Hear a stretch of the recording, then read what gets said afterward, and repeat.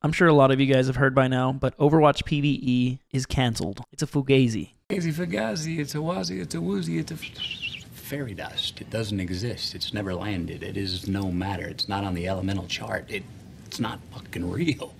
This has a lot of people upset, and justifiably so. I'll actually play you a clip of me finding out about this news on stream. So Overwatch scrapped its PvE mode. No shot. Where'd you see that at? Live on on Instagram? Let's go Google this chat. Overwatch 2 is trending. Okay, all right, interesting. Okay, okay, okay. What do we see? What do we see? Overwatch devs have given an update on Overwatch 2 PvE features, scrapping much of the original product. Many Overwatch creators and personalities are pissed. Overwatch 2. We're excited to finally share your PvE news with you. there isn't any. Overwatch 2 PvE the hollow shell of what was promised. Years of content drought for fractions of what was promised. No hero talent trees. Basically, a regular Overwatch campaign being released in small pieces. It was all for basically nothing. What a heartbreak. People are very upset. You know the PvE story campaigns in Overwatch 2? You know the thing that justified the two at the end of the name?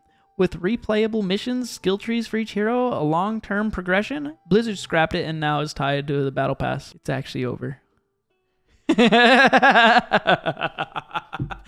uh, you all, you have to laugh at it. You have to laugh at it. It's kind of funny at this point that companies do this stuff. The gaming industry is a microcosm for what companies do to the population in general. Is just jerk us around left and right. It's actually very comical. For almost four years, we were led to believe Overwatch 2, when it happened, would have a large amount of PvE gameplay and PvE focused features. I'm talking story missions, I'm talking skill trees, I'm talking things of this nature. The whole reason that we have an Overwatch 2 and not just a Overwatch was because we were waiting for this campaign, these story modes, these co op missions. If not for those things, there's really not a point to calling it Overwatch 2. It's it's Overwatch big update. Aside from it going from like 6v6 to 5v5, it wasn't a new game. Overwatch 1 was kind of dying. And I hate to use this in video game in the video game space cuz you get dumb people, oh, it's a dead game, it's a dead game, but it really was dying. The development was not there. This was partially to do because they were trying to focus on the PvE modes of Overwatch 2, the upcoming game. So instead of waiting for the full game to release, with PvP of course, but also with PvE, Blizzard decided to rush out Overwatch 2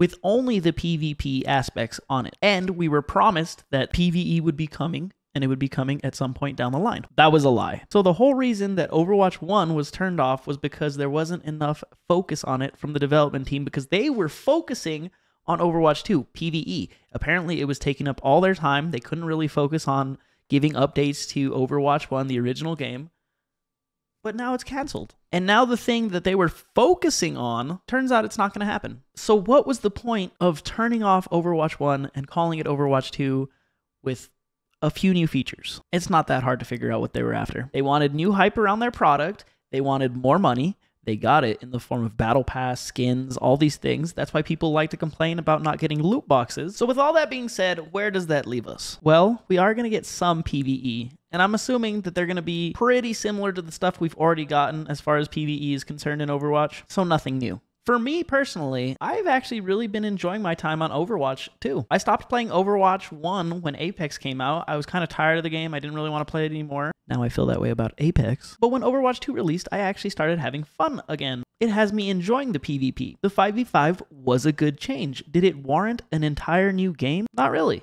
as far as content creation for me goes, I've done pretty decent when it comes to making Overwatch 2 content. It's been it's been nice. It's been kind of a boom. I was really looking forward to the PvE. I thought it would even help even more with my content creation. Now that it's not happening, I'm still going to play Overwatch. I'm still going to make Overwatch content. I guess it's just made me a little bit more concerned about the future of content creation in regards to Overwatch 2 and Overwatch 2 as a game in general. Let me know your guys' thoughts in the comments. If you enjoyed the video, leave a thumbs up. I do make a lot of Overwatch content. This is sort of a standout from the usual stuff I make, obviously, but hit me with a sub and stick around for more.